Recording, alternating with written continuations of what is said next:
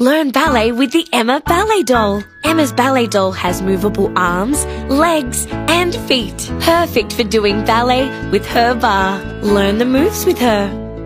First position. Demi-plie. Dégagé derrière. Saute.